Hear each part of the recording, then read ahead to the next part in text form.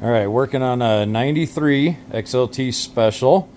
Just um, went back through the carbs, put a little bigger pilots in it. I've already static synced the carbs to get it to idle, about 2,000 RPM, and I also adjusted air screws to get that set. And now I'm going to synchronize the carbs, verifying the airflow through the three carbs is equal what I'm using is a manometer. Went to Ace Hardware, got a yardstick, Tygon tubing, a T-fitting. So there's three legs. The right hand leg is going to the mag side cylinder. The center leg is going to the center cylinder. The left hand leg is going to the PTO cylinder. And as you can see, there's a bunch more tubing back there and that's because I have a twin cylinder manometer on the back. It cost me about 20 bucks to build, I think.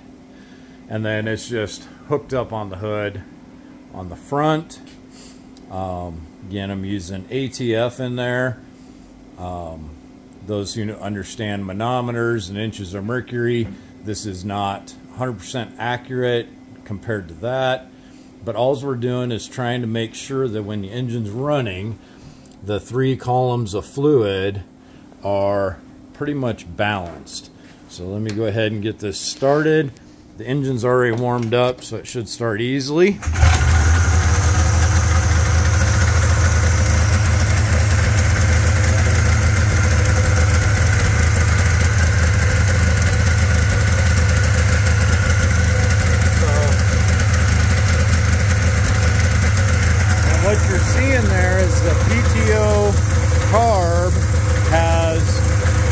Vacuum. The vacuum lines are plugged in to the vacuum ports on the carbs.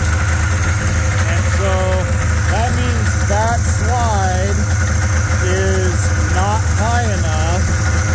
So I'm going to adjust it up a little.